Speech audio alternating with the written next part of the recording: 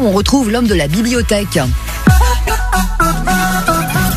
C'est vous qui vous nommez comme ça homme de la bibliothèque, Bob Garcia, qu'on retrouve avec plaisir le mardi. Salut Bob. Euh, Salut Juliette, bonjour à tous. L'homme des livres qui nous parle des livres et qui écrit des livres, je veux le signaler. Euh, Vous m'avez dit, Juliette, euh, faut qu'on en parle. Il y a un éditeur lillois qui réalise et qui nous propose des livres jeunesse, mais vachement bien. Dites-nous tout. Oui, c'est super. D'ailleurs, on entend tout le temps que les enfants, enfin souvent, que les enfants ne lisent plus, etc. Je peux vous assurer que c'est absolument faux. Ils adorent lire. J'en vois plein sur les salons. À partir de deux ans et demi, trois ans déjà, ils sont attirés par les bouquins. Alors là, justement, c'est l'occasion de braquer le projecteur sur une petite maison d'édition lilloise qui s'appelle Inukshuk et qui publie donc de très beaux livres pour les enfants. J'en ai sélectionné deux.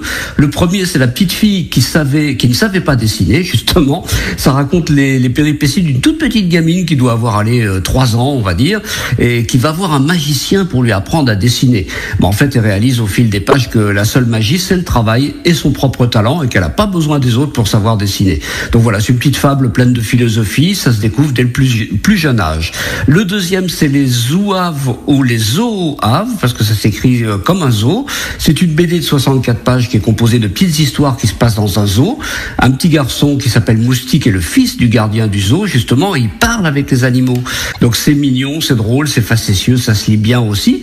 Et pour les un petit peu plus grands, donc on va dire là après, euh, à partir de 10 ans, allez, c'est mon coup de cœur du jour, c'est Mystère en Belgique, le manoir hanté, de l'excellent auteur de polar belge Salvatore Mini, et c'est publié aux éditions Ozu. Alors là, Ozu, c'est plus euh, dans les Hauts-de-France, c'est Paris et Bruxelles, je crois, Paris ou Belgique en tout cas. C'est une petite fille d'une dizaine d'années qui s'appelle Lisa et qui est inspirée de la propre nièce de l'auteur d'ailleurs, que j'ai Ouais. eu l'occasion de rencontrer, qui est pétillante de dynamisme et puis qui signe son propre livre. Enfin, c'est assez génial. Et elle décide d'inspecter un manoir euh, abandonné dans lequel elle est persuadée d'avoir vu des lumières et des fantômes. Évidemment, la chute, ce sera un peu différent.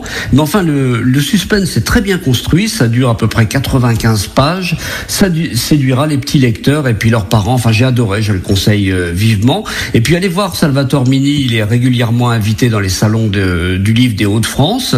Il est euh, d'abord super sympa. Il a plein de talent. Il écrit des polars jeunesse, mais aussi des polars adultes. Donc voilà, trois petites lectures pour les enfants. Ça va passer de belles, bonnes vacances. Ah, ça. sympa, sympa. Et puis, euh, je vois en même temps sur les réseaux que Ozu, cette maison d'édition est parisienne et belge, est une maison qui a plein de belles valeurs. C'est une maison indépendante, familiale, avec euh, voilà qui défend ben, l'écriture pour les gamins. Et merci pour ce choix qui nous éclaire sur les livres que nous pouvons offrir à nos petits. Et puis, c'est super sympa de rappeler que ben, les petits aiment lire. Donc, euh, merci mon cher Bob. On vous Merci retrouvera euh, la semaine prochaine sur France Bleu Nord pour les conseils lecture. Je vous plaisir. embrasse bien fort et vous saluez tout le monde à la maison, vous aussi mon cher Bob. Oui, bisous, bisous. Bisous.